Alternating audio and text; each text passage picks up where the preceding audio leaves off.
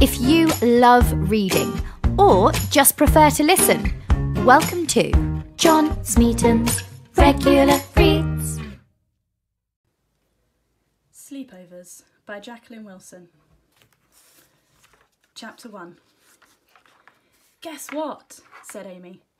It's my birthday next week, and my mum says I can invite all my special friends for a sleepover party. Great, said Bella. Fantastic, said Chloe. Wonderful, said Emily. I didn't say anything. I just smiled. Hopefully.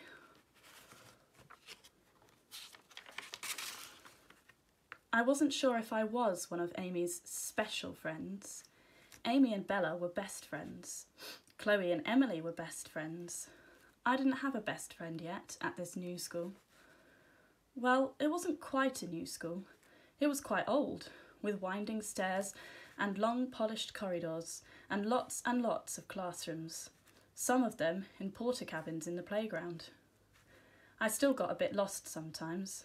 The very first day, I couldn't find the girls' toilets and went hopping round all playtime, getting desperate. But then Emily found me and took me to the toilets herself. I liked Emily so much. I wish she could be my best friend, but she already had Chloe for her best friend. I didn't think much of Chloe. I liked Amy and Bella though. We'd started to go round in a little bunch of five Amy and Bella and Emily and Chloe and me. We formed this special secret club. We called ourselves the Alphabet Girls. It's because of our names. I'm Daisy, so our first names start with A, B, C, D, and E. I was the one who spotted this. The secret club was all my idea too. I always wanted to be part of a special secret club. It was almost as good as having a best friend. I wasn't sure if Amy's birthday sleepover was strictly reserved for best friends only. Amy went on talking and talking about her sleepover and how she knew she wasn't going to sleep all night long. Bella teased her because one time, when Amy spent the night at Bella's, she fell sound asleep at nine o'clock and didn't wake up till nine o'clock the next morning. Chloe said she sometimes didn't go to bed till ever so late, eleven or even twelve at night so she'd stay awake, no bother.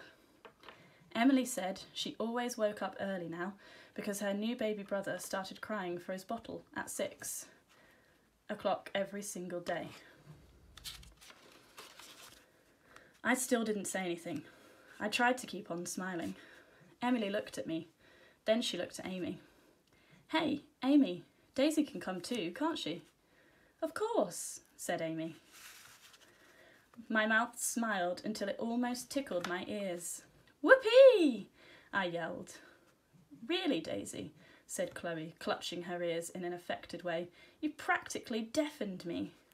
Sorry, I said, though I wasn't. But you have to try to keep on the right side of Chloe.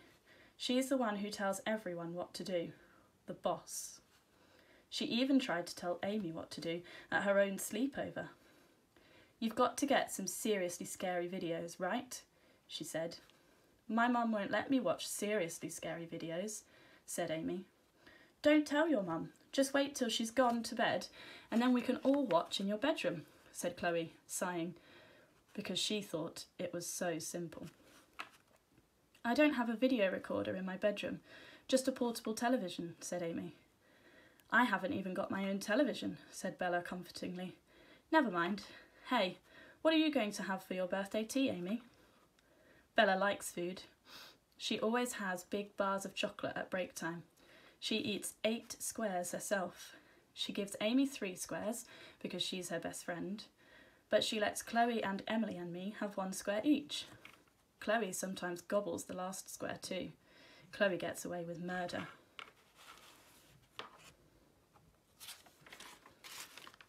Mum says I can have a big birthday cake, said Amy. She smiled at Bella. Chocolate cake. No, have an iced cake in a special shape. They're seriously cool, said Chloe. Amy can have what she likes. It's her sleepover, said Bella. Chloe frowned. We can all have sleepovers on our birthdays, said Emily quickly. Then we can each choose the way we want them to be, if we're allowed. My mum's going nuts looking after my baby brother, but I think she'll let me have a sleepover. Mine will too, said Bella. My mum lets me do anything I like, said Chloe. So does my dad. I didn't say anything. I hoped they wouldn't notice, but they were all looking at me. Can you have a sleepover too, Daisy? said Emily. Oh, sure, I said quickly, but my heart started thumping under my new school sweatshirt. It wasn't my birthday yet, thank goodness. I couldn't have a sleepover party. I didn't want to tell them why. I might have told Emily by herself, but I didn't want to tell the others, especially not Chloe. Thanks for tuning in. You've been a part of John Smeaton's Regular Reading.